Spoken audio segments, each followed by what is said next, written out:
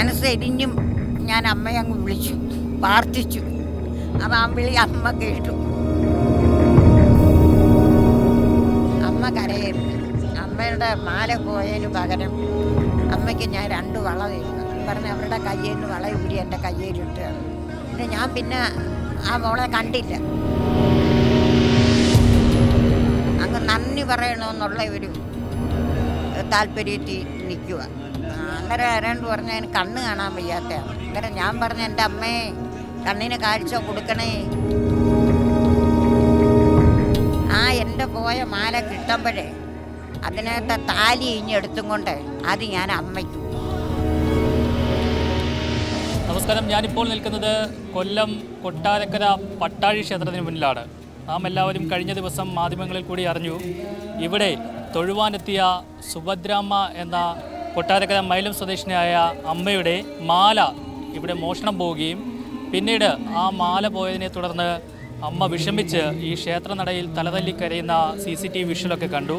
ആ സമയം അവിടെ തൊഴാനെത്തിയ ഒരു സ്ത്രീ അവളുടെ കയ്യിൽ അണിഞ്ഞിരുന്ന രണ്ട് പവന്റെ രണ്ട് വളകൾ ഈ അമ്മയ്ക്ക് സമ്മാനം നൽകി എന്നിട്ട് പറഞ്ഞു അമ്മ വിഷമിക്കണ്ട. ഈ വളകൾ വിറ്റ് മാല അമ്മ പറഞ്ഞ പുതിയത് വാങ്ങണമെന്ന് പറഞ്ഞ് അവരെ ആശ്വസിപ്പിച്ച് ഇവിടെ നിന്നും പോവുകയുണ്ടായി. ആ സ്ത്രീ ആരാണ് എന്താണ് എന്നൊക്കെയുള്ള തിരച്ചിലാണ് ഇപ്പോൾ എല്ലാവരും സി സി ടി വി ദൃശ്യങ്ങളടക്കം പരിശോധിച്ചെങ്കിലും അവരാരാണെന്ന് കണ്ടെത്താൻ കഴിഞ്ഞില്ല. എന്തായാലും ഇന്ന് അതേ ക്ഷേത്ര സന്നിധിയിൽ നിന്നും സുഭദ്രാമ മറുനാടനോടൊപ്പം ചേരുകയാണ്. അന്ന് നടന്ന കാര്യങ്ങൾ വിശദമായി സംസാരിക്കാൻ ഒപ്പം പട്ടാഴി അമ്മയ്ക്ക് നൽകുവാനായി ഒരു സ്വർണ കുമിള കൂടി കൊണ്ടുവന്നിട്ടുണ്ട്. നേർച്ചയായി കൊടുക്കുവാനായി. എന്തായാലും സുഭദ്രാമയുടെ വിശേഷങ്ങൾ നമുക്ക് കേൾക്കാം.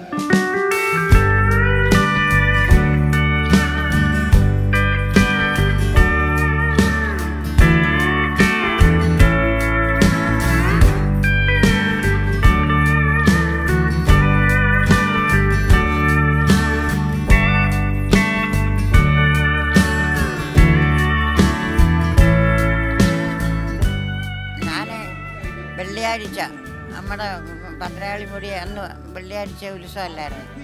അങ്ങനെ ഞാൻ രാവിലെ കൊട്ടാരക്കരയിൽ നിന്ന് വണ്ടി കയറി സ്റ്റാൻഡിൽ ഇറങ്ങി. സ്റ്റാൻഡിൽ നിന്ന് ഇവിടെ വന്നു ഞാൻ ഒറ്റയ്ക്കേ ഉള്ളായിരുന്നു. വന്നു അമ്പലത്തിൽ കയറി അർച്ചനയ്ക്ക് രസീത് എടുത്തു. എടുത്ത് ഇങ്ങനെ നോക്കിയപ്പോൾ മാലയില്ല. പിന്നെ ഞാൻ അപ്പോഴത്തേക്ക് എന്റെ സമനില അങ്ങ് തെറ്റിപ്പോയി. അമ്മയുടെ മുമ്പിൽ കിടന്ന് വീണുകൊണ്ട് ഞാനങ്ങ് നിലവിളിച്ചു നിലവിളിച്ചു പള്ളിക്കൽ അമ്മയും വിളിച്ചു മൈഡിയിൽ മണ്ണടിയിൽ അമ്മയും വിളിച്ചു പട്ടാടിയിൽ അമ്മയും വിളിച്ചു. ഭയങ്കരമായി ഞാൻ സങ്കടപ്പെട്ടു. സങ്കടപ്പെട്ടപ്പം ഞാനങ്ങ് കിടക്കുക അമ്മയുടെ മുമ്പിൽ കിടന്നു കഴിഞ്ഞപ്പോൾ ഒരു മോൾ വന്ന് എന്നെ പിടിച്ചങ്ങ് ഇണ്ണിപ്പിച്ചു. ഒരു ഒറ്റ കളർ സാരിയാണ് ഉടുത്തേക്കുന്നത് കണ്ണടയും വെച്ചിട്ടുണ്ട്. പിടിച്ചങ്ങ് എണ്ണിപ്പിച്ച് എന്നെ കണ്ണുനീരൊക്കെ തുടച്ചു. തന്നു തന്നു വെച്ചെന്നെ ഇങ്ങനെ അങ്ങോട്ട് നിർത്തിച്ചു പറഞ്ഞു അമ്മ കരയരുത്. അമ്മയുടെ മാല പോയതിന് പകരം അമ്മയ്ക്ക് ഞാൻ രണ്ട് വള തരുക എന്ന് പറഞ്ഞ് അവരുടെ കയ്യിൽ നിന്ന് വള ഊരി എന്റെ കയ്യിലിട്ട് തന്നു. ഇട്ട് തന്ന അമ്മ ഇന്നെ കരയരുത്. അന്നേരം അവർ രണ്ട് പേരുണ്ടായിരുന്നു. എന്ന് പറഞ്ഞ് പറഞ്ഞേച്ച് പിന്നെ ഞാൻ പിന്നെ ആ മോളെ കണ്ടില്ല. രണ്ട് പേരുണ്ടായിരുന്നു. പിടിച്ചും കൊണ്ടാ വന്ന് പിടിച്ചും കൊണ്ട് അങ്ങോട്ട് പോയി. പിന്നെ ഞാൻ അവിടെ നിന്ന് ഒരുപാട് അങ്ങ് പിന്നെ ഞാൻ കരഞ്ഞില്ല. കരയാതെ ഞാൻ പിന്നെ എന്നെ കമ്മിറ്റിക്കാരൊക്കെ അങ്ങ് വന്നു. പിന്നെ എല്ലാവരും കൂടെ തൊഴാൻ വന്നവരെല്ലാം കൂടെ എന്നെ പിടിച്ച് ഇനി വെളിയിലിറക്കി. വെളിയിലിറക്കി എനിക്ക് പിന്നെ അങ്ങ് ശരീരമൊക്കെ അങ്ങ് കൂരിപ്പെരുത്ത് എനിക്കങ്ങ് ഭയങ്കര ഇതായിപ്പോൾ എനിക്ക് പ്രഷറും ഉള്ളോളാം. ഞാൻ വിചാരിച്ചു എനിക്ക് പ്രഷറൊക്കെ അങ്ങ് കൂടുവന്ന് ഒറ്റയ്ക്കല്ല വന്നോളാം. വന്ന് പിന്നെ അവിടെ ഇരുത്തി എനിക്ക് ഒരു മോൾ വെള്ളമൊക്കെ കൊണ്ട് തന്നു കുടിച്ചു.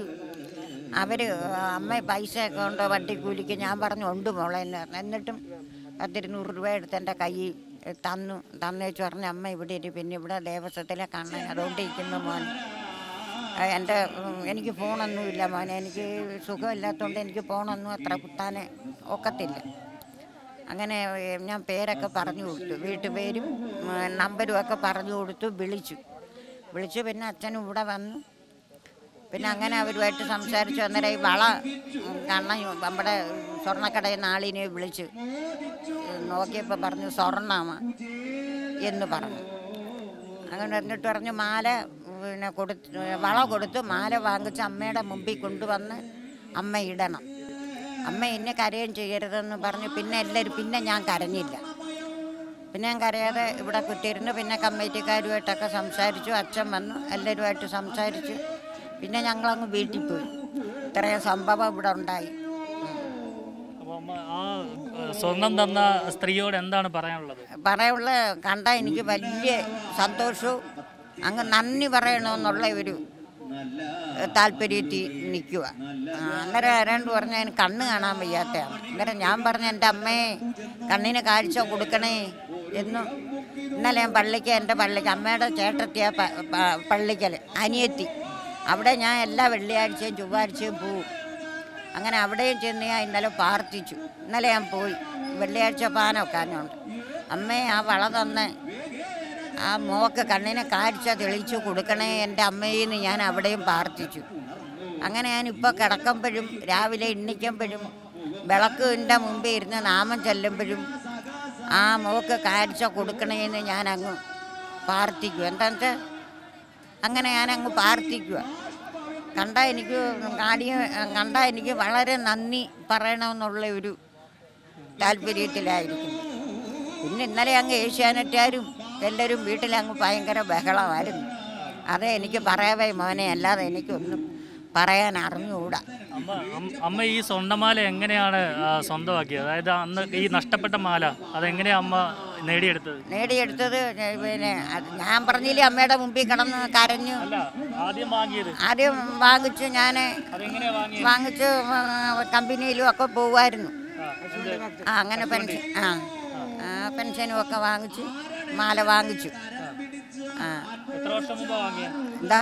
എത്ര വർഷം മുമ്പ് വാങ്ങിയത്? അപ്പം ഒരുപാട് നാളൊന്നും ആയില്ല. ആ അപ്പോൾ ഞാൻ വാങ്ങിച്ചു. ആഗ്രഹിച്ചു വാങ്ങിയതാ? അമ്മ ഞാൻ ആഗ്രഹിച്ചു വാങ്ങിയതാ. പിന്നെ ആ മാല എനിക്ക് കിട്ടുമ്പോഴേ ആ എന്റെ പോയ മാല കിട്ടുമ്പോഴേ അതിനകത്തെ താലി ഇഞ്ഞെടുത്തും കൊണ്ട് അത് ഞാൻ അമ്മയ്ക്ക് കൊടുക്കും.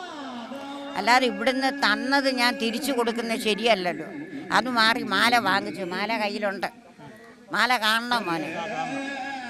അനിലേ മോളെ എന്റെ മോളെ ആ മാല ഇങ്ങോട്ട് കാണിക്കും. അങ്ങനെ വാങ്ങിച്ചു. പിന്നെ അമ്മയ്ക്ക് കുമ്പളം വാങ്ങിച്ചിട്ടുണ്ട്. കൊടുക്കാൻ ഒരു നിലവിളക്ക് വാങ്ങിക്കണം.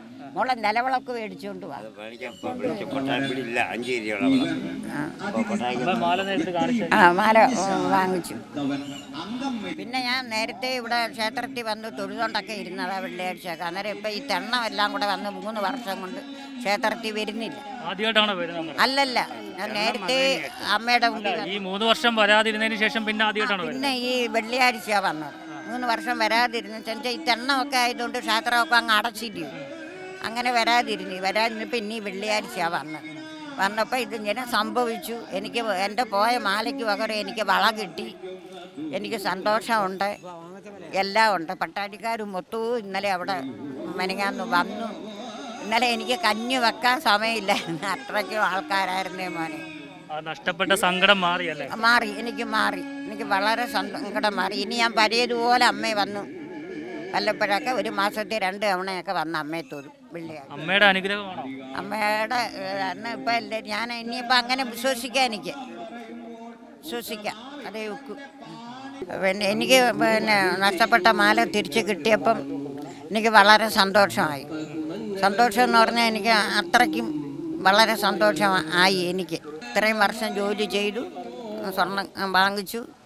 പിന്നെ അത് നഷ്ടപ്പെട്ടപ്പോൾ എനിക്ക് വളരെ സങ്കടം എന്ന് പറഞ്ഞാൽ പിന്നെ ആ കമ്പനിയിലും പോകുന്നില്ലല്ലോ.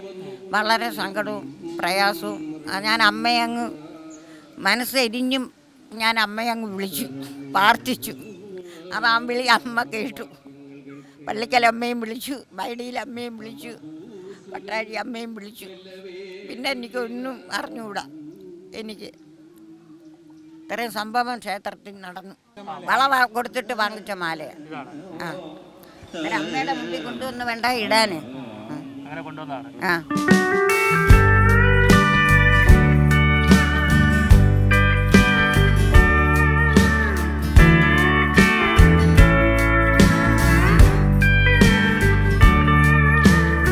എന്തായാലും ഈ ഒരു സംഭവം സുഭദ്രാമ്മ പറയുന്നത് ഇവിടുത്തെ ദേവിയുടെ അനുഗ്രഹം എന്ന് തന്നെയാണ്. അതുപോലെ തന്നെ ഈ രണ്ട് സ്വർണവളകൾ ഊരി നൽകി അവരെ ആശ്വസിപ്പിച്ച് സന്തോഷത്തോടെ പറഞ്ഞയച്ച അജ്ഞാതയായ സ്ത്രീയും അവരും ഒരുപാട് അഭിനന്ദനം അർഹിക്കുന്നതാണ്. അവരുടെ ഉള്ളിൽ ഒരു ഈശ്വര ചൈതന്യം ഉള്ളതുകൊണ്ട് തന്നെയാണ് ഇത്തരത്തിൽ ആരും മടിക്കുന്ന ഒരു പ്രവൃത്തി ചെയ്തത്. അതുകൊണ്ട് അവരും ഏറെ അഭിനന്ദനം അർഹിക്കുന്നു. അവർക്കും എല്ലാവിധ ആശംസകളും. ആർ പിയൂഷ് മറുനാടൻ ടി കൊല്ലം.